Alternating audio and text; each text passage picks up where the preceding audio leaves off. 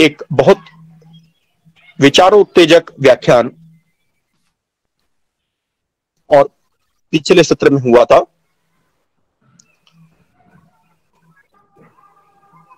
हम लोगों की परंपरा है, चार बजे के समय से इस ज्ञान यज्ञ को प्रारंभ किया जाता है और प्रारंभिक कार्यवाही जो है, वो लगभग चार बज के आठ मिनट पर प्रारंभ होती है। कार्यक्रम का प्रकार इस प्रकार रहता है कि शुरुआती दौर में चार बज के पाँच मिनट तक सभी पार्टिसिपेंट्स के जुड़ने का समय रहता है। सीहोर की चाइल्ड लाइन भी जुड़ चुकी है। स्वागत है। और उसके उपरांत, जो परिचय होता है वक्ता का, वो परिचय और संगठन की भूमिका, इस प्रकार के दो विषय रखे जाते हैं। पश्चात मुख्य वक्ता का विषय होता है, जो लगभग 35 से 40 मिनट का समय रहता है। उसमें वे अपने विषय का प्रवर्तन करते हैं। उसके पश्चात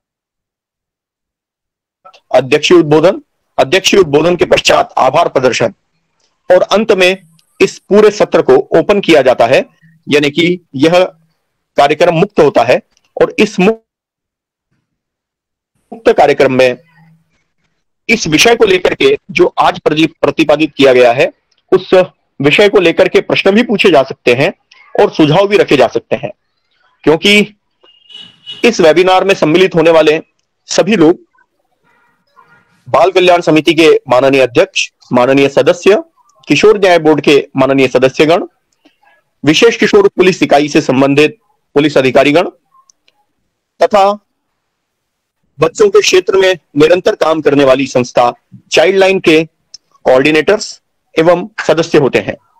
बाल कल्याण समिति, किशोर न्याय बोर्ड विशेष किशोर पुलिस इकाई और चाइल्ड लाइन की यह संयुक्त ज्ञान मंथन की परंपरा गत तीस सप्ताह से लगातार चलती आई है।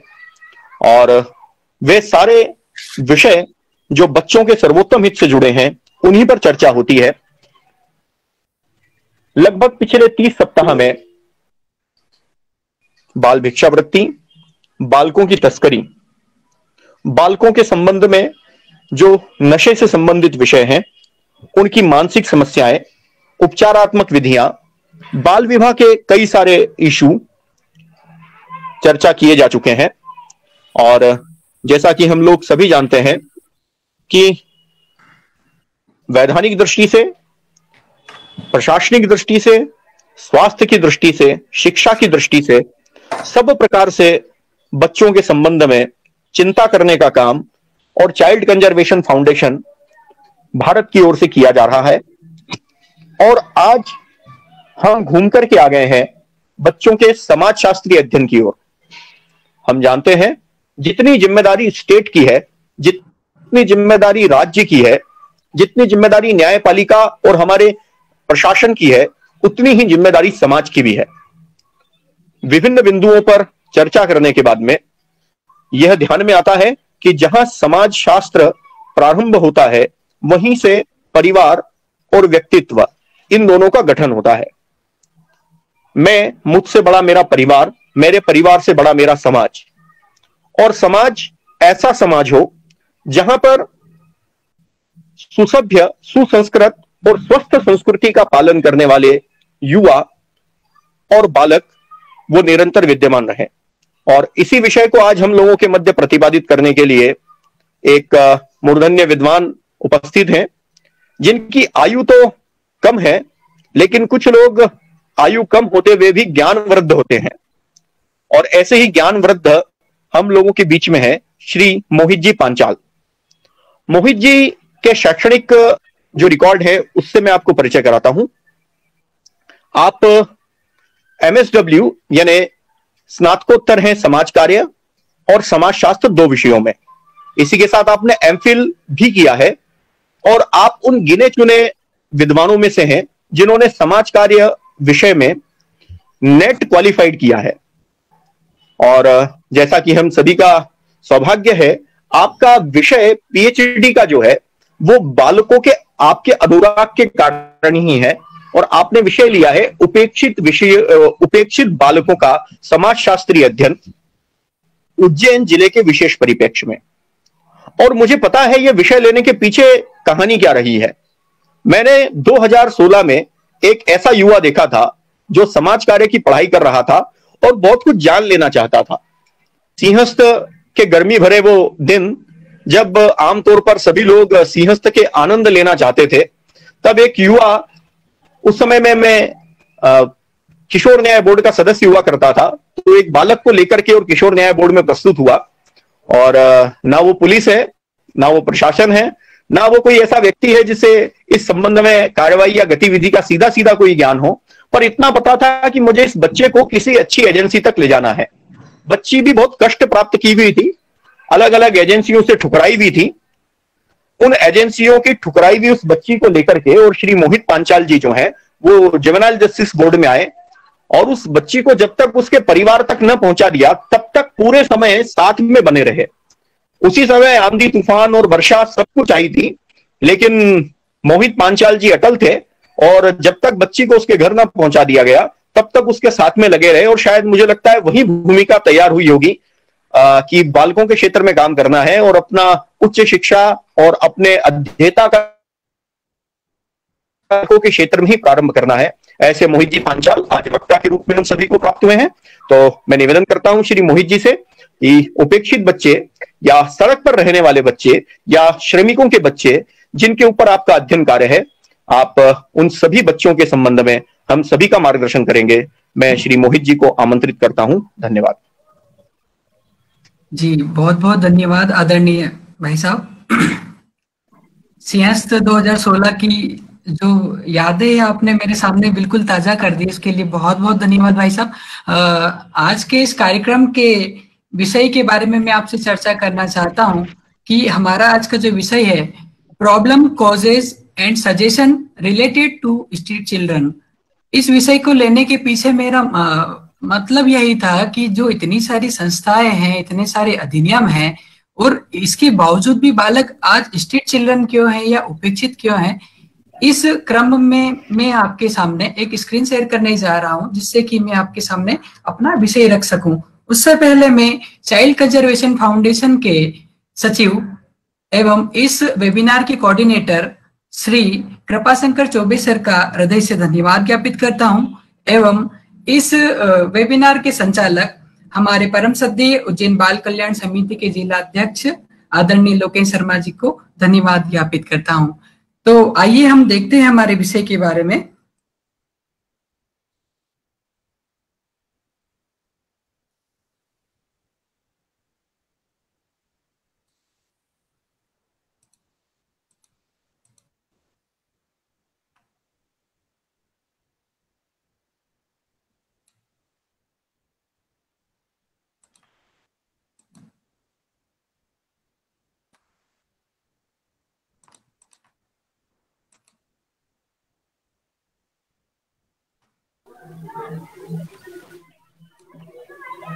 जी मोहित जी आप शायद दो डिवाइस से जुड़े हुए हैं। जी। जी जी। आप सभी को मेरी स्क्रीन दिखाई दे रही है? जी सर हाँ सर दिख रहा है। जी जी धन्यवाद आप सभी को। जैसे ही आदरणीय भाई साहब का आदेश हुआ था कि बालकों के इस संजीदा मुद्दे पर मुझे अपनी बात रखने का अवसर मिला है तो मैंने कुछ लाइनें जो बालकों की तरफ़ से लिखी थी क्योंकि आ, मैंने जब फ़ील्ड पर जाने के बाद में जो अनुभव किया था बालकों को लेकर तो बालकों की जो पीड़ा है वो मैं इस चंद लाइनों के माध्यम से प्रारंभ करते हुए अपने विषय पर आता हूँ। बालक हूँ मैं मुझे अभी बालक ही रहने दो छोटा हूँ अभी थोड़ा समय विद्यालय में ही रहने दो। क्यों वक्त से पहले मुझे जमाने की भीड़ में धकेलते हो? बालक हूँ मैं मुझे अभी, बालक ही रहने दो। समय अभी है विकास का मेरा, समय अभी है विकास का मेरा, यू ना ये हक मुझसे छीनो मेरा। बड़ा होकर घर परिवार, देश के लिए कुछ करने का सपना है मेरा, यू ना यह अधिकार मुझसे छीनो मेरा। लाड़ प्यार भावना करुणा संवेदना पाने का समय है अभी मेरा। यू ना जमाने के लालच में यह बचपन छीनो मेरा। बालक हूँ मैं मुझे अभी, बालक ही रहने दो। छोटा हूँ अभी थोड़ा समय विद्यालय में ही रहने दो। तो आइए हम हमारे विषय की शुरुआत करते हैं और जो हमारा विषय है, स्ट्रीट चिल्ड्रन तो आइए हम लोग देखते हैं स्ट्रीट चिल्ड्रन क्या होता है। सड़की बच्चे जिन्हें कहते हैं हम लोग। तो वे बच्चे होते हैं, सड़की बच्चे जो के लिए सड़कों पर निर्भर होते हैं। चाहे वे सड़कों पर रहना हो, काम करना हो, या अपने दिन का अधिकांश समय सड़क पर बिताना हो, बालक के स्ट्रीट चिल्ड्रन बनने का सबसे प्रमुख कारण अगर यदि है तो बालक की उपेक्षा है। क्या होता है कि एक कोई भी बालक है, वह एक समय में स्ट्रीट चिल्ड्रन नहीं बन बन जाता। उसकी एक प्रोसेस होती है, उस प्रोसेस से गुजरते हुए वह इस उपेक्षा की गर्त में चला जाता है। तो उसकी शुरुआत होती है उपेक्षा से। तो हम देखें यहाँ पर उपेक्षा क्या होती है। तो बालक की उपेक्षा का सामान्य सा अर्थ है व्यक्ति पर ध्यान न देना या किसी को अयोग्य या तुच्छ समझकर नीचा दिखाते हुए उसकी ओर ध्यान न देना उसकी अवहेलना करना या उसका तिरस्कार या उस बालक की उपेक्षा करना निराधार कर, निरादर करना अपमान करना को भी उपेक्षा माना गया है। साधारणतः बाल बाल उपेक्षा को मनोवैज्ञानिक दुर्व्यवहार भी कहा जाता है क्योंकि यह प्रोसेस मानसिक स्तर से होकर ही गुजरती है। आमतौर पर बच्चों की शारीरिक, भावनात्मक, शैक्षणिक या चिकित्सा जरूरतों को पूरा करने के लिए बच्चे की देखभाल करने वाले द्वारा विफलता के रूप में बाल उपेक्षा को परिभाषित किया गया है। अब यहाँ पर सवाल होता है कि बालक कौन, क्योंकि अलग अलग कानूनों के अनुसार बालक की अलग अलग परिभाषा या डेफिनेशन प्रदान की गई है। इसमें United Nation Convention on Child Rights 1989 के अनुसार, जिसे किया था, के अनुसार 18 वर्ष की आयु से कम उम्र का हर व्यक्ति बच्चा है, जब तक कि उस पर लागू कानून के अनुसार वह वयस्क न माना जाए। वहीं किशोर न्याय बालकों की देखरेख व संरक्षण अधिनियम 2000 के अनुसार 18 वर्ष से कम आयु का व्यक्ति किशोर या बच्चा माना जाएगा। वहीं पॉक्सो एक्ट, जिसे बच्चों की सुरक्षा के लिए यौन अपराध अधिनियम 2012 कहा जाता है, के अनुसार 18 वर्ष से कम आयु का व्यक्ति बच्चा माना जाएगा। इस प्रकार अनेक अधिनियमों के अनुसार अलग अलग अधिनियमों में बालकों को डिफाइन किया गया है। अब जब बालकों की स्थिति पे हम नज़र डालते हैं तो हमें पिछले कुछ डिकेट्स पीछे जाना पड़ेगा, जहाँ पर संयुक्त राष्ट्र संघ द्वारा 20 नवंबर उन्नीस को बच्चों के अधिकार संबंधी समझौता ग्रहण किया गया। जिसमें सन 1993 या उन्नीस सौ तिरानवे में एक देशों द्वारा स्वीकार किया गया, जिसमें इन जो बालक हैं उनको चार मौलिक अधिकार प्रदान किए गए थे, जिसमें से प्रमुख रूप से चार मौलिक अधिकार हैं। पहला है जीने का अधिकार, दूसरा विकास का अधिकार, तीसरा सुरक्षा का अधिकार और चौथा सहभागिता का अधिकार। जब बच्चा इन अधिकारों से वंचित हो जाता है तो उसे हम उपेक्षित बालक मानते हैं, क्योंकि ये चार अधिकार बालक को स्वस्थ एवं स्वच्छ जीवन या स्वस्थ वातावरण में जीने के लिए काफ़ी महत्वपूर्ण एवं आवश्यक है। इन बालकों में वैसे तो साधारण तौर पर सभी बालकों को विशेष ध्यान देने की आवश्यकता होती है, परंतु हमारे अध्ययन के दौरान पाया गया कि कुछ बच्चे, जैसे कि सड़कीय बच्चे, कामकाजी बच्चे, नशा करने वाले बच्चे और भीख मांगने वाले बच्चे, इन बच्चों पर विशेष ध्यान देने की आवश्यकता है। वह कैसे, हम आगे देखते हैं। हम लोगों ने जब इन लोगों से, बच्चों से बात की या चर्चा की तो उसके दौरान उनकी कुछ समस्या हमारे सामने निकल कर आई। अब उनकी क्या क्या समस्या थी? ये समस्या एक समस्या से जुड़कर दूसरी समस्या है, दूसरी समस्या से जुड़कर तीसरी समस्या है। इस प्रकार बालकों की लिंक, जिसे लिंक होता है, लिंक जुड़ती चली गई और बालकों की समस्या भी बढ़ती चली जाती है। सबसे पहले बालक की समस्या की शुरुआत होती है परिवार से। जब बालक के परिवार में समायोजन स्थापित नहीं कर पाता है, बालक का अपने परिवार के सदस्यों के साथ तालमेल नहीं बैठ पाता है तो बालक बालक क्या होता है? अपने परिवार के साथ समायोजन ना स्थापित करते हुए बाहर की दुनिया में जो कि उसे बहुत अच्छी लगती है, उसकी ओर देखने लगता है और वह उपेक्षा की पहली सीढ़ी चढ़ता है। वहीं आगे हम इन बालकों की सेकेंड समस्या देखते हैं तो सामाजिक समायोजन की समस्या। जब बालक उपेक्षित होने की पहली सीढ़ी चढ़ जाता है, तब समाज द्वारा उसको है दृष्टि से देखा जाता है या उसको बुरी नज़र से देखा जाता है या उसके साथ अच्छा व्यवहार नहीं किया जाता है। इस प्रकार वह बालक सामाजिक समायोजन की समस्या से घिर जाता है।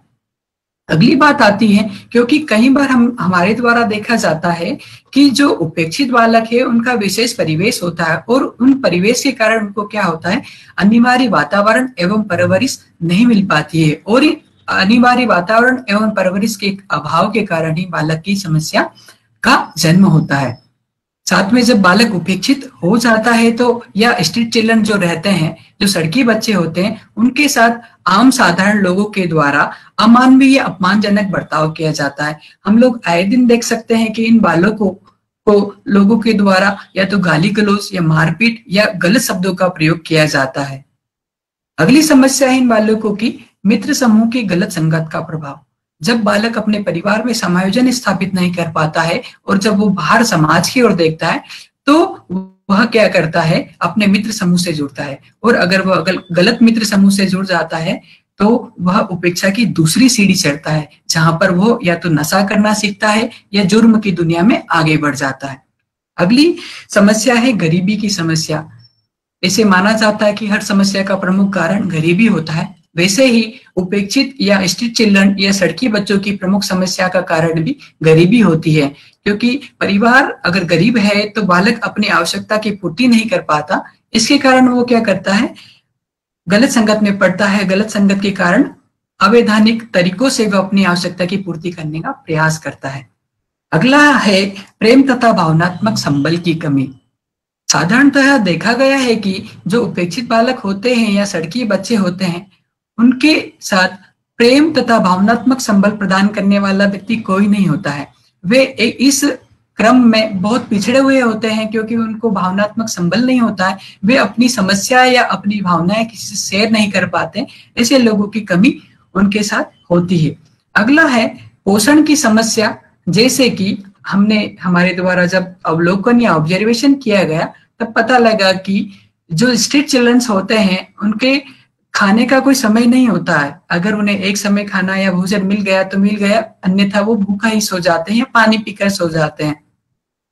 सबसे महत्वपूर्ण समस्या है बालकों की शिक्षा की समस्या, क्योंकि एक व्यक्ति जब परिवार में शिक्षा ग्रहण करता है तो बाहर जब वो समाज के बाहर जब इंटर करता है तो समाज में पहला चढ़ाव होता है उसका विद्यालय। और विद्यालय में अगर उस बच्चे को हम लोग प्रेम, भावना तथा व्यवहार सिखाते हैं तो ही वह बच्चा समाज में अच्छा आचरण प्रस्तुत करता है। परंतु हम हमारे द्वारा जो स्ट्रीट चिल्ड्रन है उनके अध्ययन में देखा गया कि बच्चे या तो बच्चों का विद्यालय में नामांकन ही नहीं हो पाता है या तो जिन बच्चों का विद्यालय में नामांकन हो जाता है तो वो बीच में ही विद्यालय छोड़ देते हैं जिसको हम ड्रॉप आउट कहते हैं। अगला है मानसिक शोषण क्योंकि जब बच्चे सड़क पर होते हैं तो उनकी न, उनकी बच्चों पर अनेक लोगों की नज़र होती है। वे लोग उनका मानसिक शोषण करते हैं। जैसे कि अगर हम बाल श्रमिकों की बात करें तो बाल श्रमिक को जो छोटा बालक होता है, उससे जब काम करवाया जाता है तो उसे ध्यान नहीं रहता है कि उसको कितने घंटे काम करना है। उसे डराया धमकाया जाता है और अधिक काम के घंटे में उसे वर्क करवाया जाता है। अगला है, होता है आर्थिक शोषण। इन बच्चों से कई बार जो सड़क पर लोग रहते हैं, उनके पास इनसे पैसे छीन लेते हैं। साथ ही साथ जो अगर इनका नियोक्ता है, जो इनसे काम करवाता है, वह भी इनको कम पैसा देता है और काम के घंटे जो रहते हैं, वो साधारण व्यक्ति से भी अधिक होते हैं। अगला है शारीरिक शोषण, जिसके अंतर्गत मारपीट, यौन शोषण अधिक जोखिम भरा कार्य करवाना या इनके स्वास्थ्य के साथ खिलाड़ करवाना।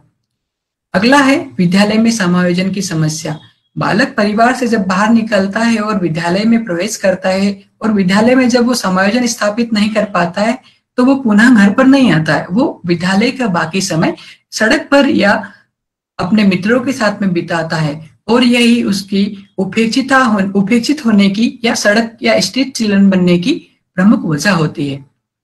इसी क्रम में विश्व भर में हर साल 20 नवंबर को बाल दिवस मनाया जाता है।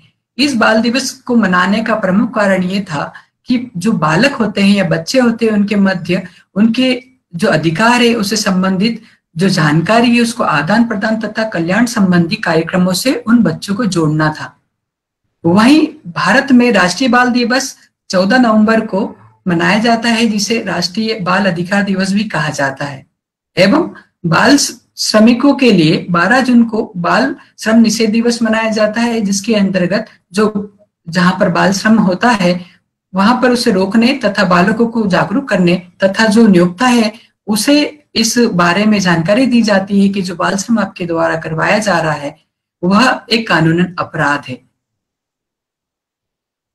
भारतवर्ष में तथा अंतरराष्ट्रीय स्तर पर अनेकों, अनेक राष्ट्रीय एवं गैर गैर सरकारी संगठन कार्यरत है, जो कि बालकों के मुद्दों पर विशेष रूप से कार्य कर रहे हैं, जिसमें से यूनिसेफ यूनाइटेड स्टेट या Children Fund United Nation Children Fund जिसको कहा जाता है Child Line India Foundation Save the Children India Pratham Foundation Child Conservation Foundation India the Children Fund Make a Wish Oxfam W जिसको world Health Organization कहा जाता है संयुक्त राष्ट्र संघ, जिसको यूनाइटेड नेशन कहा जाता है यूनेस्को अकांसा फाउंडेशन सलाम बालक ट्रस्ट भूमि संगठन, ऐसे अनेकों अनेक संगठन कार्य कर रहे हैं बालकों के मुद्दे पे, जिसमें एक प्रमुख संगठन है बचपन बचाओ आंदोलन, जिसकी शुरुआत नोबल पुरस्कार विजेता कैलाश सत्यार्थी के माध्यम से की गई थी। कैलाश सत्यार्थी जो जी, जो है, आज बालकों के मुद्दों पर काम करने के लिए एक संबल बने हुए हैं, जो बालकों को कई हज़ारों हज़ार बालकों को पुनर्वास स्थापित करवाने में मदद कर चुके हैं। एनसीपीसीआर गवर्नमेंट डॉट इन का एक आंकड़ा आपके सामने मैं प्रस्तुत कर रहा हूँ। National Commission for Protection of Child Rights जिसको कहते हैं, इसके अनुसार अगर हम देखें तो भारत के अंदर पाँच वर्ष से नौ वर्ष के जो बाल श्रमिक हैं, उनकी कुल संख्या है अठारह लाख चालीस हज़ार पाँच सौ बीस, जिसके अंदर नौ लाख संतानवे हज़ार तीन सौ चौरासी बालक है। वहीं आठ लाख तैतालीस हज़ार एक सौ छत्तीस बालिकाएँ हैं। एवं जहाँ पर अगर हम 10 से 14 आयु वर्ष की बात करें तो कुल जो बाल श्रम है, बाल श्रमिक है, उनकी संख्या एक करोड़ सात लाख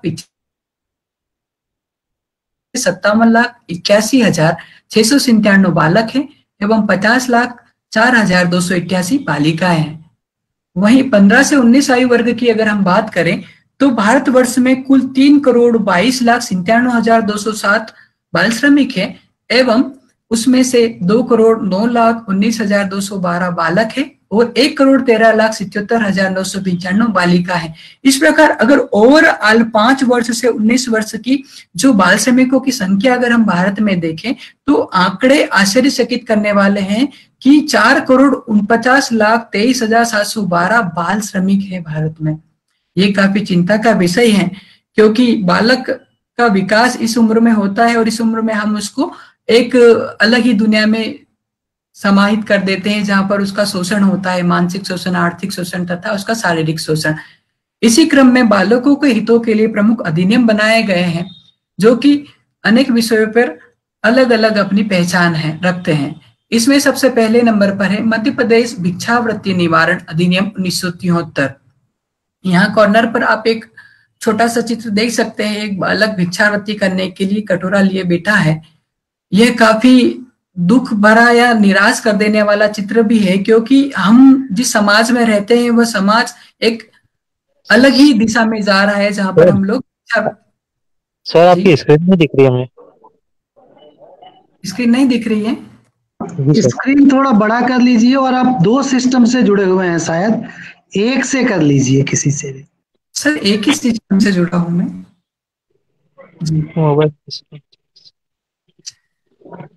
अगला है इसमें मध्य प्रदेश भिक्षावती निवारण अधिनियम उन्नीस जो कि भीख जिसके अंतर्गत भीख मांगना या भिक्षावती करवाना एक दंडनीय अपराध है।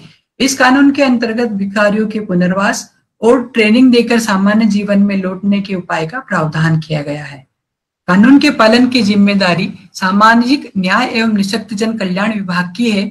इस अधिनियम के अंतर्गत भीख मांगने पर पकड़े जाने पर प्रारंभ में पहली बार जब भीख मांगते कोई व्यक्ति पकड़ा जाता है तो दो साल तक की सजा एवं दूसरी बार अगर वह भीख मांगते पकड़ा जाता है तो दस साल तक की जेल या सजा का प्रावधान है।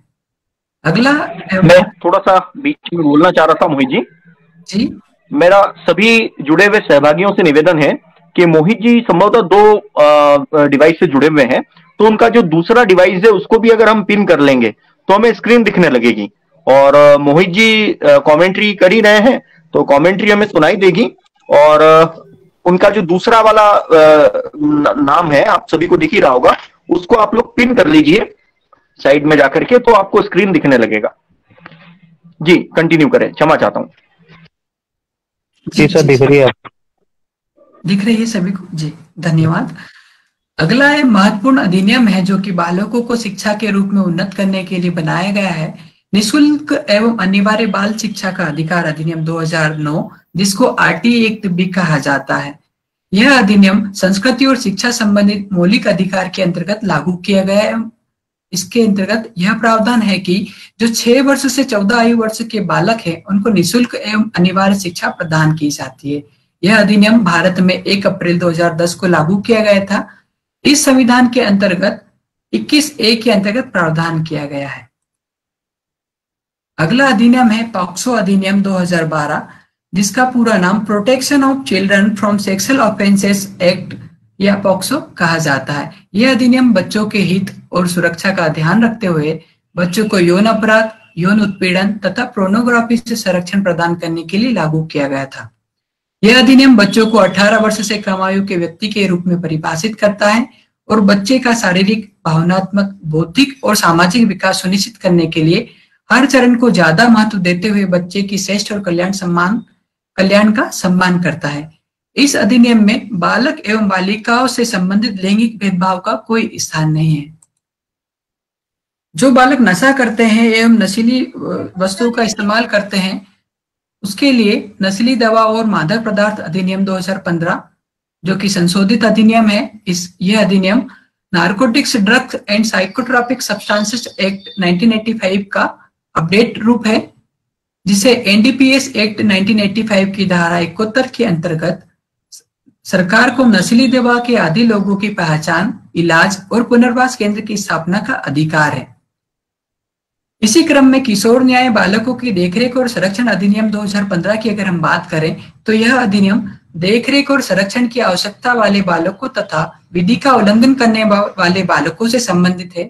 यह अधिनियम अनाथ छोड़ दिए गए और सरेंडर किए गए बच्चों के घरेलू और इंटर कंट्री एडॉप्शन की व्यापक प्रक्रिया का प्रावधान करता है। यह बिल 6 अगस्त 2018 को किशोर न्याय, बच्चों की देखरेख एवं संरक्षण संशोधन संशोधन बिल 2018 को लोकसभा में पेश किया गया था। लास्ट अधिनियम है बाल श्रम निषेध और विनियमन संशोधन अधिनियम 2016 इस अधिनियम के अंतर्गत बाल, बालकों से श्रम करवाना एक कानून अपराध है, जिसके अंतर्गत बालकों से श्रम करवाने वाले व्यक्ति को छह माह से लेकर दो साल तक का कारावास का प्रावधान है। साथ ही साथ इसके अंतर्गत दंड के रूप में बीस हज़ार से पचास हज़ार तक का आर्थिक जुर्माना भी लगाया जा सकता है। एवं कंडीशन के अनुसार ये छह माह से दो साल तक की सजा एवं बीस हज़ार से पचास हज़ार तक का जुर्माना, दोनों भी जुर्माना लगाया जा सकता है। जैसा कि आप इस पीपीटी के माध्यम से जो चित्र दिखाया गया है, उसमें देख सकते हैं, यहाँ पर एक हेमर है और वो जो चाइल्ड लेबर पर वार करता है, उसमें दिखाया गया है no child labour yes to quality education अर्थात हम लोगों को, बालकों को शिक्षा से जोड़ने का महत्वपूर्ण कदम उठाना पड़ेगा, तभी यह उपेक्षित या स्टेट चिल्ड्रन की समस्या खत्म होगी। अब सवाल उठता है कि इतने सारे अधिनियम और इतनी सारी संस्थाएँ काम कर रही है, उसके बाद भी आए दिन हम लोग स्टेट चिल्ड्रन या नशा करने वाले बालक या भिक्षुक, बाल भिक्षुक या बाल श्रमिक आए दिन देख सकते हैं। तो हम लोग और हमारे जहन में ये बात आई कि वास्तव में ग्रास रूट लेवल पे या जमीनी स्तर पर क्यों ना हम पता करें कि वास्तव में इन बालकों की क्या समस्या है, जिसके कारण ये बाल, बालक उपेक्षित या स्टेट चिल्ड्रन बनते हैं। तो हमारे द्वारा उज्जैन नगर में एक अध्ययन किया गया जिसमें प्रयास किया गया कि ये जो स्ट्रीट चिल्ड्रंस है या उपेक्षित बालक है, इनके हॉटस्पॉट को हम लोग डेवलप करें। इसका प्रमुख, यहाँ पर शो करने का प्रमुख रीजन ये है कि हम जहाँ पर भी निवास करते हैं, चाहे वो कोई भी स्थान हो उज्जैन की अपेक्षा, वहाँ पर हम लोगों को इस विषय को लेकर एक, हम भी अनुसंधान कर सकते हैं और हॉटस्पॉट डेवलप कर सकते हैं, जहाँ से हम लोग पता लगा सकते हैं कि अधिकांशतः बालक कहाँ पर चिल्ड्रन स्टेट चिल्ड्रन पाए जाते हैं। उज्जैन नगर की अगर हम बात करें तो उज्जैन नगर में रामघाट, नानाखेड़ा, इस्कॉन मंदिर, गोपाल मंदिर, नई सड़क, फ्रीगंज शनि मंदिर, महाकाल मंदिर चिंतामन गणेश मंदिर, हरसिद्धि माता मंदिर, Dewas gate, bus stand, Mangalnath, Agar road मक्सर ये सभी हॉटस्पॉट थे जहाँ पर बालक आए दिन अधिक तादाद में यहाँ पर हम लोगों को मिल सकते हैं। इसका प्रमुख सुझाव में लास्ट में बताऊँगा कि हॉटस्पॉट डेवलप करने का हमारा क्या रीजन या क्या कारण था। कई बार कहते हैं कि जो स्टेट चिल्ड्रन होते हैं, उनका प्रमुख कारण ये होता है कि वास्तव में बालकों के परिवार का छोटा होना है या बालकों के परिवार, संयुक्त परिवार का ब्रेक होना है। तो हम, हमने ये क्वेश्चन वहाँ पर जब फ़ील्ड पर गए तो बालकों से पूछा और पता लगाया। तो इस अध्ययन में पता लगा कि 89.4 प्रतिशत बच्चे जो थे, उनके परिवार का स्वरूप एकल था। जिससे सिद्ध होता है कि जो परिवार छोटे हैं, एकल परिवार का मतलब ये होता है माता पिता एवं उनके बालक। जो परिवार छोटे हैं, अधिकांशतः उनके ही बच्चे उपेक्षित की श्रेणी में जा रहे हैं। इसका प्रमुख कारण ये है कि माता पिता क्या होते हैं, अपने उदर पोषण करने के लिए जो रोज़गार में संलग्न हो जाते हैं, इसके कारण बच्चों पर प्रॉपर या एक ढंग से ध्यान नहीं दे पाते हैं। अगला है जेंडर इस अध्ययन में हमने देखा कि केवल बाईस दशमलव दो प्रतिशत बालिकाएँ थी, जो कि स्ट्रीट चिल्ड्रन या उपेक्षित बालक की श्रेणी में थी। वही सितोत्तर दशमलव आठ प्रतिशत बालक थे। अतः स्पष्ट है कि जो अधिकांश बच्चे हैं, बालिकाओं की अपेक्षा तीन गुना बालक थे जो कि स्ट्रीट चिल्ड्रन या बाल उपेक्षा का शिकार थे। अब बात आती है कि परिवार का क्या मुख्य व्यवसाय है, जो बालक स्ट्रीट चिल्ड्रन है, उसमें यहाँ पर हम लोग देख सकते हैं कि चौसठ दशमलव चार प्रतिशत उत्तरदाता ऐसे हैं जिनके परिवार का मुख्य व्यवसाय मजदूरी है। अर्थात माता पिता जब मजदूरी करने चले जाते हैं तो बालक क्या करता है? अपने मित्रों के साथ में या अन्य किसी व्यक्ति या साथी के साथ में वह सड़क पर घूमने निकल जाता है और अपनी आवश्यकता की पूर्ति करने के लिए या तो भिक्षावृत्ति करता है या अन्य किसी प्रकार की क्रम में वह जुड़ जाता है। अब हमने देखा कि क्या उज्जैन में आए दिन इतने सारे बालक उपेक्षित या स्ट्रीट चिल्ड्रन के रूप में दिखते हैं? तो क्या वास्तव में जो हमने स्थान पहले देखे थे, हॉटस्पॉट डेवलप किए थे, क्या वहीं पर उन लोगों का निवास है? तो आश्चर्य कर देने वाली बात हमारे सामने निकल कर आई कि अध्ययन से प्राप्त हुए आंकड़े से हम कह सकते हैं कि लगभग 25 प्रतिशत उत्तरदाता ऐसे थे जो मॉर्निंग में सुबह उज्जैन आ जाते हैं और दिन भर यहाँ रहते हैं। या चाहे वो बाल श्रमिक हो, चाहे बाल भिक्षुक हो या नशा करने वाले बालक हो, उनमें से प्रमुख गाँव थे नीनोरा, कंदारिया, पारदीखेड़ा, चंदूखेड़ी, चंदेसरा आदि। इन गाँवों से बालक सुबह प्रातः आ जाते हैं और दिन, सारा दिन अपना सड़कों पर यहाँ पर बिताते हैं और शाम के समय वो पुनः अपने घर को लौट जाते हैं। आगे हम बात करते हैं विद्यालय की, क्योंकि शिक्षा ही एक महत्वपूर्ण बालक के लिए बहुत महत्वपूर्ण आवश्यक संसाधन है, क्योंकि जिस प्रकार से खाना हमारे लिए ज़रूरी है, वैसे बालक के लिए शिक्षा बहुत महत्वपूर्ण है। तो हम, हमने बालकों के से जब प्रश्न किया तो पता लगा कि अध्ययन में इकतालीस दशमलव एक प्रतिशत बच्चे ही विद्यालय में नामांकित है। वहाँ अट्ठावन दशमलव नौ प्रतिशत बच्चे विद्यालय नहीं जाते हैं। इससे सिद्ध होता है कि उपेक्षित होने का सबसे प्रमुख कारण यह है कि बालक विद्यालय में एंगेज नहीं है, बालक विद्यालय से जुड़ा हुआ नहीं है, क्योंकि जो बालक विद्यालय में एंगेज है, वो दिन का चार से पाँच घंटे विद्यालय में रहकर बिताता है और बाकी का समय परिवार में वह दे पाता है। आगे हम देखते हैं विद्यालय का प्रकार। जो बच्चे इकतालीस दशमलव एक प्रतिशत विद्यालय जाते तो उसमें से छत्तीस दशमलव एक प्रतिशत जो बालक है या बालिका है, वो शासकीय विद्यालय में जाते हैं। अब शासकीय विद्यालय में जाने का से उनका आगे जो हम बताएँगे कि वो बच्चे विद्यालय में जाते ही नहीं है। शासकीय विद्यालय की ये कमी है और हम लोगों को इसमें शासकीय विद्यालय के साथ में मिलकर एक अवेयरनेस प्रोग्राम चलाना चाहिए कि बालकों को इस प्रकार का स्ट्रक्चर डेवलप करके देना चाहिए कि बालक विद्यालय में ज़्यादा से ज़्यादा समय गुजारे या उसकी रुचि पढ़ने में हो या विद्यालय जाने में हो। अब यहाँ पर हम देखते हैं तो जो पीछे हमने यहाँ पर देखा था कि अट्ठावन दशमलव नौ प्रतिशत बच्चे विद्यालय नहीं जाते, जिसमें से इकतालीस दशमलव सात प्रतिशत बच्चे वे थे जो कि ड्रॉप आउट थे मतलब कि जिनका नामांकन विद्यालय में हुआ था। परंतु वो किसी ना किसी कारण से विद्यालय उन्होंने जाना छोड़ दिया, जो कि काफ़ी चिंता का विषय है। और स्ट्रीट चिल्ड्रन बनने का सबसे प्रमुख कारण भी यही है यहाँ पर हम देख सकते हैं लगभग आधा प्रतिशत जो कि इकतालीस दशमलव सात प्रतिशत बच्चे हैं, वो ड्रॉप आउट है। मतलब उपेक्षित होने का सबसे बड़ा कारण, कारणों में से अगर हम कहें तो तो ड्रॉप आउट विद्यालय जाना छोड़ना है ड्रॉप आउट होना भी है। आगे हम बात करें तो देखते हैं कि बालक क्या है, कौन सी कक्षा में से उसने ड्रॉप आउट हुआ या कौन सी कक्षा से उसने विद्यालय जाना छोड़ा। तो यहाँ पर सत्रह दशमलव छह प्रतिशत बालक ऐसे थे जिन्होंने प्राथमिक, पहले से पांचवी कक्षा के मध्य ही उन्होंने विद्यालय जाना छोड़ दिया और ग्यारह दशमलव सात प्रतिशत विद्यार्थियों ने छठी से आठवीं कक्षा के मध्य छोड़ा। अगर हम इन दोनों को ऐड कर ले, दोनों को तो आप देखते हैं कि लगभग 70 से 80 प्रतिशत बच्चे ऐसे हैं जिन्होंने प्राथमिक एवं माध्यमिक स्तर पर मतलब निम्न स्तर की शिक्षा जब ग्रहण कर दी, तभी उन्होंने विद्यालय जाना छोड़ दिया। तो हम लोगों को यहाँ पर कोशिश करना चाहिए कि जब बच्चे का एनरोलमेंट हो विद्यालय में तो उसको ज़्यादा से ज़्यादा एंगेज किया जाए और उसको शिक्षा का महत्व बताया जाए। आगे हम देखते हैं विद्यालय छोड़ने का कारण। हमारे मन में जिज्ञासा हुई कि इतने सारे बच्चे ड्रॉप आउट हो रहे थे इसका कारण क्या है? तो पता लगा कि बीस दशमलव छह प्रतिशत जो बच्चे हैं, उनका विद्यालय में मन ही नहीं लगता है, क्योंकि उनके जो मित्र समूह है, वो बाहर घूमते हैं, उनका विद्यालय में नामांकन नहीं हुआ है, इसलिए उन उन बच्चों की भी इच्छा होती है कि वह भी उनके साथ बाहर घूमे, इसलिए उनका मन वहाँ पर नहीं लगता। छह दशमलव एक प्रतिशत विद्यार्थी या बच्चे ऐसे थे जिन, जिनका ड्रॉप आउट होने का कारण फेल हो जाना है। वहीं बारह दशमलव दो प्रतिशत बच्चों का ड्रॉप आउट होने का कारण, उनके पारिवारिक कारण था। जैसे कि परिवार द्वारा आर्थिक कमी के कारण या धन धन के रूप में पिछड़ा होने के कारण वो बालकों को या तो बाल श्रमिक के रूप में भेज देते हैं या उनसे कहते हैं कि आप जाओ और भिक्षावृत्ति करो। आगे इन आंकड़ों को भी हम देखेंगे कि किस प्रकार एक बालक भिक्षावृत्ति के पैसे में संलिप्त हो जाता है। अब हमने बालकों के हित के लिए कार्यरत आपातकालीन सेवा चाइल्ड लाइन दस नौ आठ के बारे में जानने का बालकों से प्रयास किया तो चौबीस दशमलव पाँच प्रतिशत बच्चे ही चाइल्ड लाइन के बारे में जानते थे। उनको चाइल्ड लाइन के बारे में बिल्कुल जानकारी थी कि दस नौ आठ आपातकालीन सेवा है, जिसमें हम लोग कभी भी आपातकाल के समय फ़ोन लगा सकते हैं। वही इकहत्तर दशमलव एक प्रतिशत बच्चे ऐसे थे जिनको चाइल्ड लाइन के बारे में कोई जानकारी नहीं थी। अतः स्पष्ट होता है कि जो बच्चा अगर किसी मुसीबत में पड़ गया तो उसको बालकों से के हित में कार्यरत या आपातकालीन सेवा चाइल्ड लाइन के बारे में कोई जानकारी नहीं है।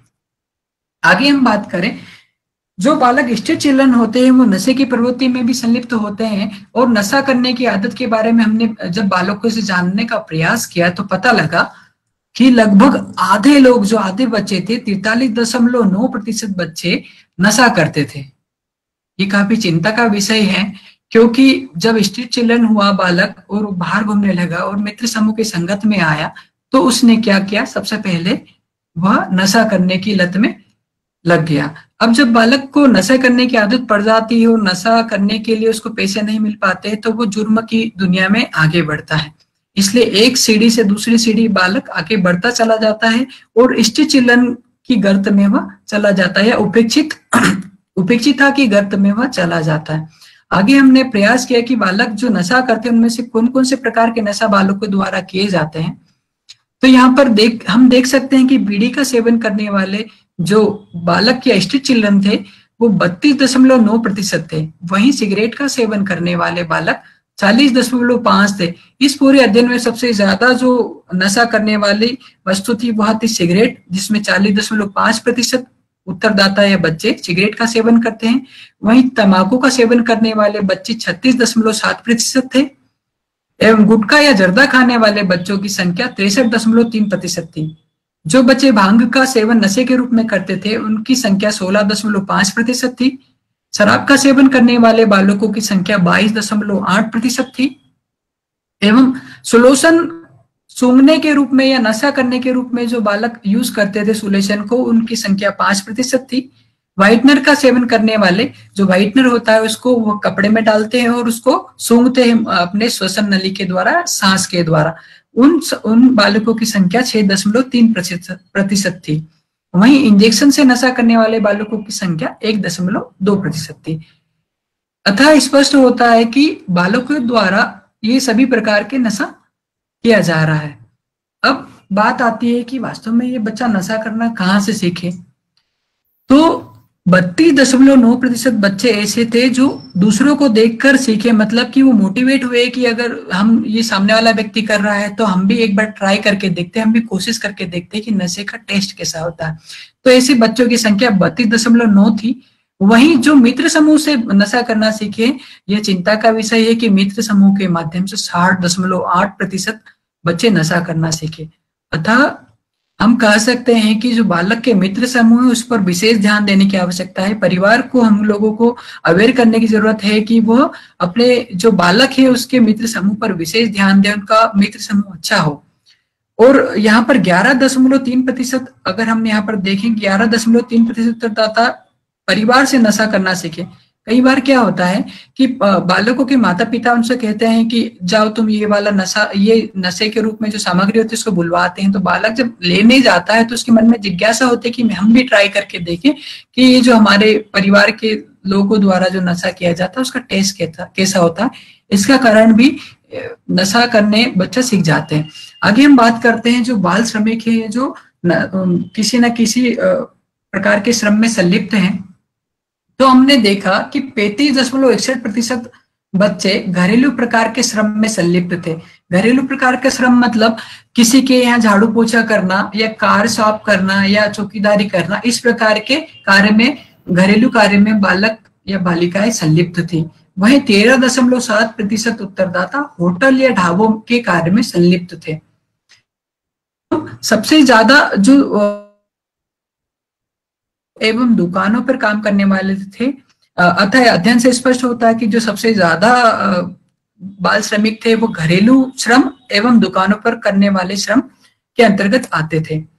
अब हम बात करते हैं क्या वास्तव में बालक जो कार्य करता है उसे कितने घंटे कार्य करवाया जाता है। तो यहाँ पर हम लोग देख सकते हैं कि सात से नौ घंटे कार्य करवाने वाले बालकों की संख्या सबसे अधिक थी।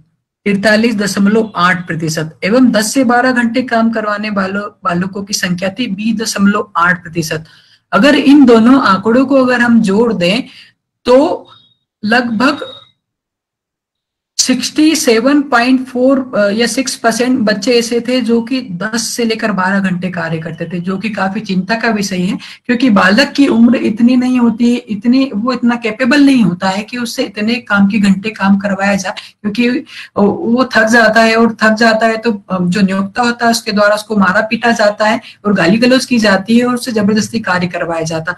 यह एक प्रमुख कारण है बाल बाल श्रमिक का, क्योंकि क्या रहता है कि बालक अधिक घंटे तक काम कर सकता है। और साथ ही साथ उसका एक प्रमुख कारण यह भी है कि हम यहाँ पर इस जो, कितने रुपए मिलते हैं, वो टेबल को देखेंगे तो हम पता लगा सकते हैं कि बाल श्रमिक का एक प्रमुख कारण यह है कि बाईस दशमलव पाँच प्रतिशत बच्चों को केवल सौ रुपए से कम पैसे दिए जाते हैं प्रतिदिन। बाल श्रमिक का सबसे प्रमुख कारण ये भी है कि क्योंकि उनको बालकों से अधिक घंटे काम करवाया जाता है, यहाँ पर सात से बारह घंटे, और वहीं उन बालकों को सिर्फ़ सौ रुपए से कम पैसे में वो काम कर लेते हैं। इसलिए यहाँ पर बाल श्रमिकों की संख्या या तादाद बढ़ती है, क्योंकि नियोक्ता ऐसे लोगों को ज़्यादा पसंद करता है, क्योंकि वे ज़्यादा घंटे काम करते साथ ही साथ उनको कम पैसा देना पड़ता पड़ता है। आगे जो बालक भिक्षावृत्ति करते हैं, उनके बारे में हमने यहाँ पर एक टेबल के माध्यम से आंकड़े प्रस्तुत किए हैं, जिसमें पता लगाया गया कि क्या वास्तव में भिक्षावृत्ति करने वाले, जो जो भीख मांगने वाले बच्चे हैं, जो भिखारी बच्चे हैं, वो क्या प्रतिदिन भिक्षावृत्ति करते हैं? तो उसमें से सत्तर दशमलव पाँच प्रतिशत बच्चे ऐसे थे, जो प्रतिदिन किसी ना किसी प्रकार की भिक्षावृत्ति के कार्य में संलिप्त थे। वहीं केवल इक्कीस दशमलव तीन प्रतिशत भिक्षुक बाल भिक्षुक ऐसे थे जो साप्ताहिक रूप से, जैसे कि शनिवार, मंगलवार या शुक्रवार को, जैसे कि शनिवार को शनि मंदिर के सामने चले जाना या मंगलवार को हनुमान जी के मंदिर या सोमवार को महाकाल के सामने। इस प्रकार से वो बालक साप्ताहिक रूप से भिक्षावृत्ति करते हैं। वहीं अगर हम आठ दशमलव दो प्रतिशत बालकों की या भिक्षावृत्ति करने वाले बच्चों की बात करें तो त्योहारों या पर्वों पर वो भिक्षावृत्ति करते हैं। भारत उज्जैन नगर जो है, हम इसकी बात करें तो ये धार्मिक नगरी है और लोग क्या करते हैं, धार्मिक भावना से प्रेरित होकर यहाँ आते हैं और दया की भावना से दान धर्म करते हैं। इसके कारण क्या होता है कि माता पिता बच्चों को भेज देते हैं वहाँ पर कि जाओ तुम इस स्थान पर जाना, लोग आएँगे और तुमको भिक्षावृत्ति के रूप में, दान धर्म के रूप में पैसा देंगे। तो यहाँ पर हमारी जो धार्मिक भावना है वो भी यहाँ पर एक भिक्षुक को जन्म देने के लिए जिम्मेदार है। भिक्षावृत्ति का प्रकार पे अगर हम बात करें तो हमने यहाँ पर एक टर्म यूज़ किया छद्म भिक्षावृत्ति। छद्म भिक्षावृत्ति वह भिक्षावृत्ति होती है जिसमें बालक एक छुपा हुआ भिक्षुक होता है। जैसे कि वह किसी सामान के बदले में आपसे ज़्यादा पैसे माँगता है। जैसे कि गणेश मंदिर के सामने दुर्वा बेचना है, आटे की गोलियाँ बेचना है, एक रुपए के अखबार के बदले पाँच रुपए मांगना है। इस प्रकार किसी सामग्री के बदले, जैसे ऐसे बच्चे हम लोगों को आए दिन ट्रैफ़िक सिग्नल पर मिल जाते हैं, जो छद्म भिक्षावृत्ति करते हैं। एवं बासठ दशमलव तीन प्रतिशत बच्चे ऐसे थे जो खुले हाथ भी मांगते थे या भिक्षावृत्ति करते थे। आगे हम बात करते हैं, भिक्षावृत्ति करने के लिए कौन प्रेरित करता है? तो यहाँ पर हम लोग देखेंगे, साठ दशमलव छह प्रतिशत उत्तरदाता ऐसे थे जो स्वयं भिक्षावृत्ति करने के लिए प्रेरित हुए। इसका कारण भी मैं आपको आगे वाली जो स्लाइड है, आगे वाले आंकड़े हैं, उसमें पता लगेगा कि कैसे वह स्वयं के द्वारा प्रेरित हुआ भिक्षावृत्ति करने के लिए। अगला है, उनतीस दशमलव पाँच प्रतिशत बच्चे घर वालों द्वारा प्रेरित किए जाते हैं कि जाओ तुम भिक्षावृत्ति करने जाओ, इससे जो पैसा प्राप्त होगा, उससे हम लोग हमारे घर के लिए खाने का सामान लाएँगे, जो आवश्यक सामग्री है वो लाएँगे। और नौ दशमलव नौ प्रतिशत उत्तरदाता ये बच्चे मित्र समूह द्वारा प्रेरित हुए भिक्षावृत्ति करने के लिए। हम यहाँ पर देखें कि हमारे द्वारा पूछा गया कि क्या आपके परिवार में भी कोई भिक्षावृत्ति करता है? तो आंकड़े आश्चर्यचकित करने वाले थे। बासठ दशमलव तीन प्रतिशत उत्तरदाता के परिवार में ही कोई ना कोई भिक्षावृत्ति करता है, इसलिए वो भी भिक्षावृत्ति की प्रवृत्ति में संलिप्त है। अतः स्पष्ट रूप से कहा जा सकता है कि जो परिवार भिक्षावृत्ति करता है, उनके ही बालक वहाँ पर भिक्षावृत्ति करने के लिए सड़कों पर घूमते हैं। यहाँ पर हमने समय जानने का प्रयास किया, कितने घंटे वो भिक्षावृत्ति करते हैं। तो अधिकांश बच्चों से जब हमने बात की तो उन्होंने बताया तीन से पाँच घंटे, जो सबसे अधिक है, वो तीन से पाँच घंटे कार वहाँ पर मतलब सड़कों पर भिक्षावृत्ति करते हैं। और जो भिक्षावृत्ति से पैसा प्राप्त होता है, उससे वो या तो नशा करते हैं या अन्य किसी सामग्री को एंजॉय करने में या मित्रों के साथ में वो घूमते फिरते हैं और खर्च कर देते हैं। अब कई बार हम लोग देखते हैं कि परिवार का विघटन भी बालक को स्ट्रीट चिल्ड्रन या उपेक्षित बालक होने के लिए निर्भर करता है। तो यहाँ पर हमारे द्वारा अध्ययन में पता चला कि चौदह दशमलव चार प्रतिशत उत्तरदाता के परिवार का स्वरूप विघटित था। मतलब उस विघटित मतलब परिवार में या तो माता पिता साथ नहीं रहते, या तो माता की मृत्यु हो गई, या पिता की मृत्यु हो गई, या माता पिता का डिवोर्स हो गया है, वो कभी इन बच्चों के साथ में नहीं रहे। इसलिए कई हद तक परिवार का विघटन या विघटन होना भी बालकों की उपेक्षा या चलन बनने के लिए जिम्मेदार है। कई बार देखा जाता है कि जिन बच्चों के माता पिता पढ़े लिखे हैं, उनके बच्चे स्टेज चिल्ड्रन नहीं होते हैं या वो बच्चे उपेक्षित नहीं होते, वास्तव में यह यह बात सही है क्योंकि यहाँ पर हम लोग देख सकते हैं कि तिरतालीस दशमलव चार प्रतिशत जो बच्चे उनके पिता की शैक्षणिक स्थिति निरक्षर थे मतलब वो कभी विद्यालय गए ही नहीं, उनका विद्यालय में नामांकन नहीं हुआ। अधिकांशतः क्या होता है कि माता पिता जब अशिक्षित होते हैं या निरक्षर होते हैं तो वो जागरूक नहीं होते बालकों के हितों के प्रति, बालकों की शिक्षा के प्रति, और वो बच्चों को या तो भिक्षावृत्ति करने के लिए भेज देते हैं, या वो उनको श्रम करने के लिए भेज देते हैं कि जाओ तुम भी कमाने जाओ, शिक्षा में कुछ नहीं रहेगा। इसलिए ऐसे लोगों को अवेयर करने की बहुत ज़्यादा ज़रूरत है, जिससे कि हम लोग बालकों को मुख्य धारा में जोड़ सके और बालकों को शिक्षा प्रदान कर सके, जिससे कि बालक अपने राष्ट्र के निर्माण में एक महती भूमिका निभा सके। आगे हम देखेंगे कि माता की शैक्षणिक स्थिति तो पिता की शैक्षणिक स्थिति के आधार पर भी हम यहाँ देखें तो माता की शैक्षणिक स्थिति भी इकसठ दशमलव एक प्रतिशत माताएँ जो थी वो निरक्षरी थी। अतः स्पष्ट रूप से कहा जा सकता है कि माता पिता की शैक्षणिक स्थिति भी बालक की उपेक्षा का प्रमुख कारण है। अब इस अध्ययन के आधार पर हमने इतने सारे जो आंकड़े देखे, उसके आधार पर हम लोग विभिन्न प्रकार के सुझाव प्रस्तुत कर सकते हैं। कहा जाता है कि बालक के पहली जो सीखने की सीढ़ी होती है, वो परिवार होता है और इसलिए हमने परिवार को लेकर ही कुछ सुझाव प्रस्तुत किए हैं। तो इसमें अध्ययन में देखा गया है कि अधिकांश बालों के परिवार का स्वरूप एकल परिवार है, जिसके कारण माता पिता व्यस्तता के कारण बच्चों पर उचित ढंग से ध्यान नहीं दे पाते माता पिता को चाहिए कि वह बच्चों के साथ भावनात्मक संबंध स्थापित कर बच्चों की अच्छी परवरिश करने की ओर ध्यान दे। अगर ऐसा कर पाने में माता पिता असमर्थ हैं, कई बार क्या होता है माता पिता कह देते हैं कि हम लोग क्या करें, हम लोगों को तो उधर पोषण करने के लिए हमें मजदूरी करना पड़ती है और घर पर ये बालक अकेले रहते हैं। तो ऐसे जब माता पिता असमर्थ होते तो उनको क्या करना चाहिए? बालकों के के कल्याण संबंधी संस्थाएँ जो काम कर रही है, उनसे संपर्क कर संस्था की सहायता ले सकते हैं। जैसे कि बच्चा उपेक्षा का शिकार होने से पहले ही सामाजिक, भावनात्मक अनुकूलन वातावरण में अपना विकास कर सके एवं एक सफल इंसान बन सके। साथ ही साथ माता पिता को चाहिए कि वो बच्चे की सही, गलत व्यवहार पर विशेष ध्यान दे एवं बच्चों को अच्छे आचरण ग्रहण करने की शिक्षा दे, जिससे परिवार में एक अच्छा आचरण प्रस्तुत करने या सीख बच्चों को इस प्रकार की सीख दी जाए कि वो एक समाज में आदर्श प्रस्तुत करे, जो समाज में जो आदर्श है, उसको ग्रहण करे, जिससे कि बालक आगे बढ़ सके। अगला है माता पिता को चाहिए कि बालक का विद्यालय में नामांकन कर उसे शिक्षा के महत्व को समझाए। अधिकतर हमने जिन बालकों से बात की, जिनका विद्यालय में नामांकन नहीं था, उसमें परिवार तो जिम्मेदार थे ही थे। साथ में हमारी कुछ नियम ऐसे हैं, जिसके के द्वारा बालक नामांकित नहीं हो पाता है, क्योंकि अधिकांश बालक के माता पिताओं का या का या तो आधार कार्ड नहीं बनाता या बालकों का आधार कार्ड नहीं बनाता, जिसके कारण बालकों को विद्यालय में नामांकन देने से मना कर दिया गया था। अगला है आजकल बच्चे बुरी संगत में पढ़कर बुरा व्यवहार सीख जाते हैं। माता पिता को चाहिए कि बालक का मित्र समूह अच्छा हो, उस पर निरंतर नज़र रखे, ताकि बालक उपेक्षा की पहली सीढ़ी न चढ़ सके। माता पिता दोनों को चाहिए कि वह कुछ समय बच्चों के लिए निकाले एवं उनसे बातचीत कर, अच्छे संबंध स्थापित करे, ताकि बालक अपनी भावना माता पिता के सामने व्यक्त कर सके, चाहे परिस्थिति जो भी हो। अभिभावकों के मध्य जाकर उन्हें शिक्षा, हम लोगों को क्या करना चाहिए? जैसे हम लोग जो सोशल वर्कर्स हैं या समाज सेवी संस्थाएँ हैं, जो बालकों के हित में कार्यरत संस्था है, उन, उनको क्या करना चाहिए? ऐसे बच्चों को आइडेंटिफाई करके उनके माता पिता की काउंसलिंग करना चाहिए, उनको शिक्षा के महत्व को समझाना चाहिए, जिससे कि बाल, अधिक से अधिक बच्चे शिक्षा से जुड़ सके या विद्यालय में नामांकित हो सके। कई बार देखा जाता है विघटित होते परिवार के कारण भी उपेक्षित बच्चों का जन्म होता है। माता पिता लड़ाई के कारण अलग अलग हो जाते हैं और उसका हरजाना की काउंसलिंग करके उनको साथ में रहने की हिदायत दी जानी चाहिए जिससे कि बालक का सही ढंग से पालन पोषण हो सके।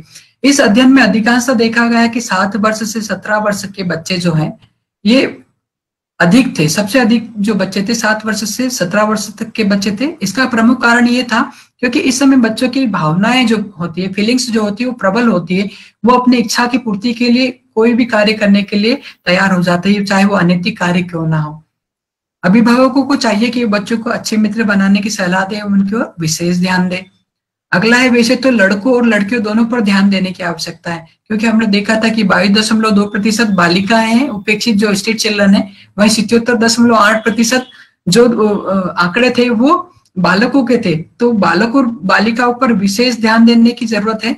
जिस प्रकार हमारे, जो हमारा कल्चर है, उसमें बालिकाओं को एक नियमों में बाँध के रखा जाता है और बालकों को किसी प्रकार के छूट दी जाती कि आप स्वतंत्र है और बालिकाएँ घर में आ, किसी नियमों में बंधी रहती उसी प्रकार हम लोगों को लड़कों को भी विशेष रूप से नियमों में बांधने की ज़रूरत है उनको शिक्षा से जोड़ने की ज़रूरत है साथ ही साथ उनको अच्छा आचरण या व्यवहार देने की ज़रूरत है उनको अच्छे संस्कार देने की ज़रूरत है। अगला है सरकारी एवं गैर सरकारी संस्थाओं के लिए सुझाव। अध्ययन में उपेक्षित बालकों के हॉटस्पॉट दर्शाए गए जैसे कि हमने देखा था कि हमने कुछ हॉटस्पॉट वहाँ पर बनाए हैं जहाँ पर बच्चे अधिक संख्या में पाए गए। वहाँ पर उपेक्षित बालक के हितों के लिए कार्यरत संस्थाओं को चाहिए कि ऐसे स्थानों को चिन्हित कर बाल उपेक्षा को समाप्त समाप्त करने के लिए प्रतिबद्धता के साथ रूपरेखा बनाकर कार्य करना चाहिए। साथ ही साथ चाइल्ड लाइन और श्रम विभाग को साथ में मिलकर बाल श्रमिक, बाल भिक्षुक एवं नशा करने वाले बच्चों के लिए एक अलग टास्क टीम का गठन करना चाहिए, जिससे कि इस प्रकार की उपेक्षा पर विशेष रूप से ध्यान दिया जा सके। चाइल्ड लाइन को बालकों के लिए जागरूकता कार्यक्रम प्रारंभ किए जाने चाहिए, जिसमें कि बालकों को विद्यालय में जाकर बाल अधिकारों में उचित जानकारी दी जानी चाहिए एवं अच्छे एवं बुरे आचरण की जानकारी के लिए जागरूकता कार्यक्रम चलाना चाहिए। साथ ही साथ सार्वजनिक रूप से लोगों को जागरूक करने की आवश्यकता है, जिससे कि वह उपेक्षित बालकों को सही तरीके से मदद कर सके, ना कि पैसे मांगने पर पैसे देकर। नशा मुक्ति केंद्र को चाहिए कि सार्वजनिक स्थानों पर नशा मुक्त उपलब्ध होने वाले स्थानों पर 18 वर्ष से कम आयु के बच्चों को नशे की सामग्री न देने की समझाइश एवं नोटिस लगाए जाए। अगला है, अवलोकन में पाया गया कि महाकाल मंदिर के पीछे वाले हिस्से में अधिक मात्रा में बच्चों द्वारा व्हाइटनर का उपयोग नशे के रूप में किया जाता है। व्हाइटनर पर प्रतिबंध होने के बावजूद बालकों की बड़ी संख्या में आसानी से ये दुकानदार ये व्हाइटनर उपलब्ध करवा देते हैं। ऐसे दुकानों को चिन्हित कर उन्हें समझाइश दी जानी चाहिए। साथ ही साथ समझाइश के बावजूद अगर दुकानदार ना माने तो ऐसे दुकानदारों के खिलाफ कानूनी कार्रवाई की जानी चाहिए। मैं, हम लोगों ने जब इन बालकों से बात करने की कोशिश की तो ये भाग गए थे और हम लोगों ने उचित नहीं समझा इनके पीछे भागना, क्योंकि अगर बच्चा भागता है तो हो सकता है उसके साथ एक्सीडेंट हो जाए। इसलिए इन बच्चों से हमने बात नहीं की, परंतु ऑब्जर्वेशन के माध्यम से हम लोगों ने इनके आंकड़े प्राप्त करने की कोशिश की। अधिकांश बच्चों को बालकों के हित के लिए कार्यरत किसी भी कार्यक्रम या संस्थान की जानकारी नहीं है। तथा बाल हितों के लिए कार्यरत संस्थाओं को चाहिए कि वे अधिक से अधिक बालकों को उनके हितों के लिए चलाए जा रहे कार्यक्रमों से अवगत कराकर उन्हें जागरूकता प्रदान करें। साथ ही साथ, बाल श्रमिक एवं बाल भिक्षुओं की संख्या त्योहारों पर या पर्व पर अधिक हो जाती है।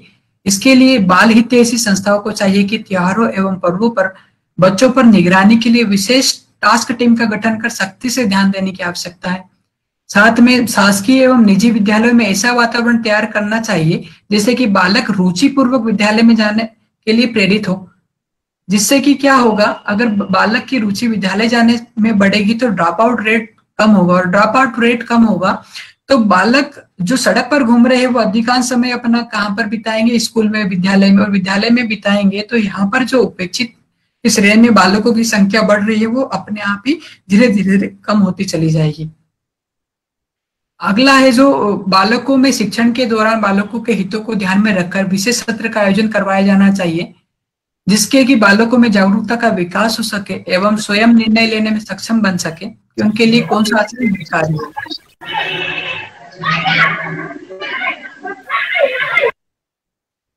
अभियोजन से संबंधित कुछ मैंने सुझाव यहाँ पर प्रस्तुत किए हैं। अधिकांश बालक अपने हितों एवं अधिकारों को नहीं जानते। शासन एवं बालक के हितों के लिए कार्यरत संस्था को चाहिए कि सभी बच्चों तथा कानून एवं सुरक्षा के लिए जागरूकता पहुँचाने के लिए कार्यक्रम एवं रूपरेखा का निर्माण कर बच्चों तक जागरूकता पहुँचाए।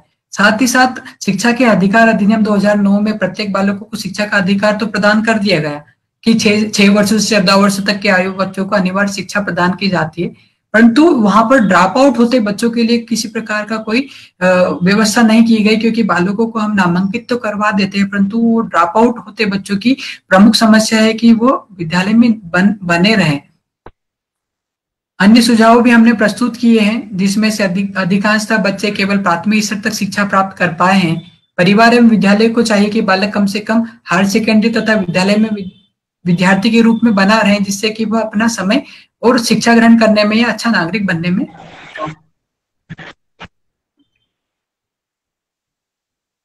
मोहित जी ने एक बहुत ही विस्तृत अध्ययन किया है।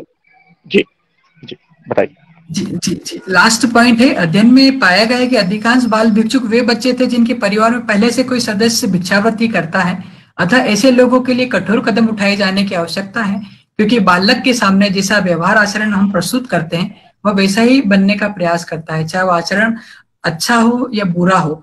इसलिए मैं चाइल्ड कंजर्वेशन फाउंडेशन का हृदय से धन्यवाद ज्ञापित करता हूँ, क्यों, क्योंकि उन्होंने मुझे इस इतने संजीदा मुद्दे पर अपना विषय रखने का अवसर दिया। और आप सभी का बहुत धन्यवाद, क्योंकि आपने अपना अमूल्य समय निकालकर इस विषय को समझने का प्रयास किया गया। धन्यवाद, सर। बहुत बहुत धन्यवाद, मोहित जी। और एक अध्यता के रूप में आपने जिस व्यवस्था के साथ ये पूरा का पूरा श्रृंखलाबद्ध एक अध्ययन हम लोगों के सामने प्रस्तुत किया है, निश्चित ही ये स्तुत्य प्रयास है, क्योंकि हम सभी के सामने ये प्रश्न निरंतर खड़े रहते हैं। बाल कल्याण समिति का काम करते समय या चाइल्ड लाइन का काम करते समय कि जिन बच्चों के बीच में हम लोग काम कर रहे हैं, उन बच्चों का हम लोग निदान क्या करें? वास्तव में हम लोगों का जो काम है, वो उपचारात्मक काम ही है। और उपचारात्मक कोई भी कार्य जब भी किया जा सकता है, जब इस प्रकार के अध्ययनों से और इस प्रकार की व्यवस्था से हम लोग जुड़ करके और इस बात को समझ सके कि मूल समस्या किस स्थान पर आ रही है। तो आपका यह अध्ययन वास्तव में एक मील का पत्थर साबित होगा बाल अधिकारों के जागरण और संरक्षण के क्षेत्र में। और आपने जो सुझाव कोट किए हैं, मैं आपको विश्वास दिलाता हूँ चाइल्ड कंजर्वेशन फाउंडेशन की ओर से और चाइल्ड कंजर्वेशन फाउंडेशन ही नहीं तो यहाँ पर उपस्थित समस्त बाल कल्याण समिति और चाइल्ड लाइन की जो हमारी एजेंसियाँ हैं और विशेष किशोर पुलिस इकाई के जो सदस्य हैं, उन सभी की ओर से कि निश्चित ही इन सुझावों पर हम लोग अमूल करने का प्रयास करेंगे। और जो अध्ययन आपने इतनी सार गर्भित रूप से तैयार किया है, उस अध्ययन के जो बिंदु है, वो हम सभी के लिए आगे के समय मार्गदर्शक सिद्ध होंगे। आज के इस कार्यक्रम में हम लोगों के बीच में पूरा समय बने रहे हैं। चाइल्ड कंजर्वेशन फाउंडेशन के सचिव श्री कृपाशंकर चौबे जी, डॉक्टर कृपाशंकर चौबे जी तो वे आभार प्रदर्शन करेंगे।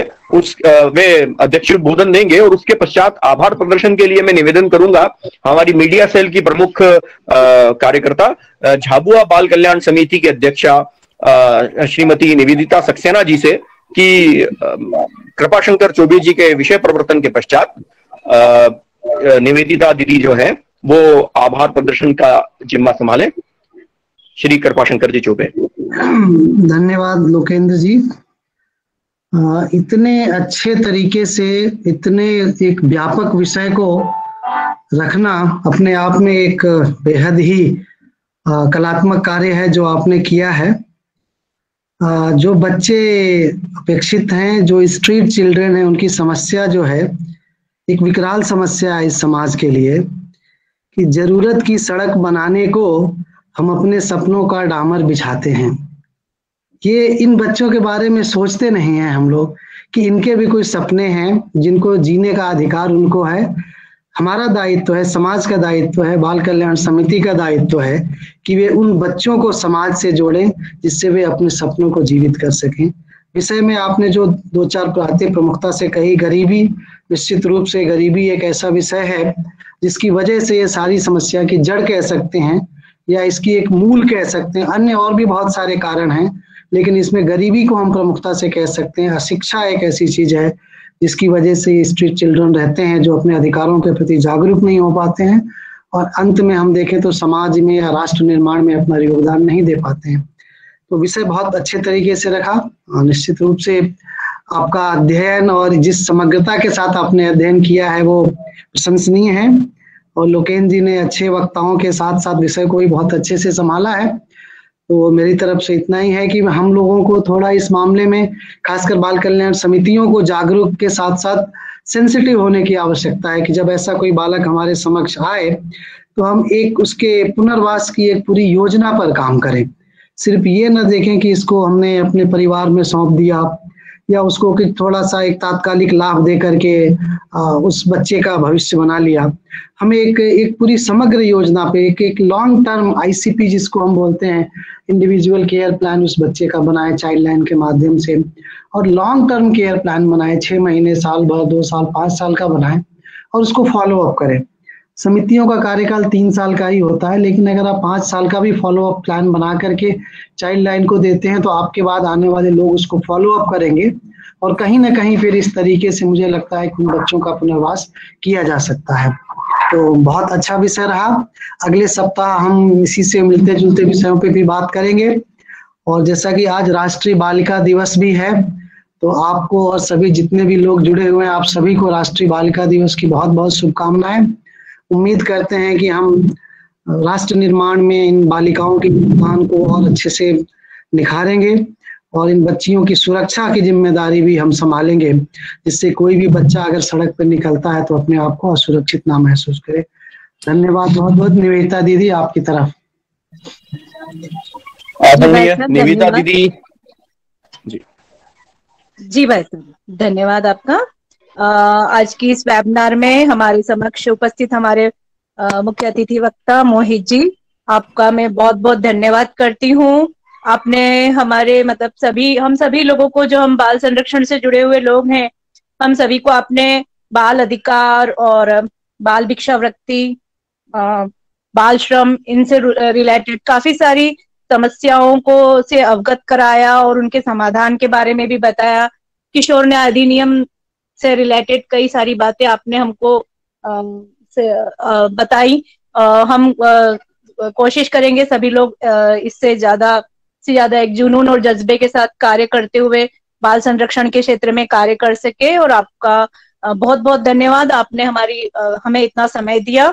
और हमारे सीसीए फाउंडेशन के अध्यक्ष राघवेंद्र जी भाई साहब जिन्होंने की हमें इतना अच्छा प्लेटफॉर्म दिया। और कृपा शंकर जी भाई साहब जो लगातार हमारे साथ सूत्रधार के रूप में जुड़े रहते हैं लुटिन जी भाई साहब जो हमारे आज के संचालन कर रहे हैं और हमें लगातार प्रेरित करते रहते हैं, आप सबका भी बहुत बहुत धन्यवाद। और यहाँ पर उपस्थित जितने भी पार्टिसिपेंट है, मैं उनका भी सीसीए फाउंडेशन की ओर से बहुत बहुत धन्यवाद करती हूँ। धन्यवाद भाई। तो जैसे की परंपरा रही है, धन्यवाद ज्ञापन के पश्चात। हम इस पूरे के पूरे सत्र को ओपन कर देते हैं। ये मंच मुक्त हो जाता है खुला मंच होता है, जिसमें आप हमारे विद्वान वक्ता से प्रश्न भी पूछ सकते हैं और यदि कोई अपना सुझाव जोड़ना हो तो हम सुझाव भी दे सकते हैं। इसके अलावा भी यदि आज के विषय से जुड़ी हुई कोई हमारी टिप्पणी हो तो वो भी व्यक्त कर सकते हैं। मुझे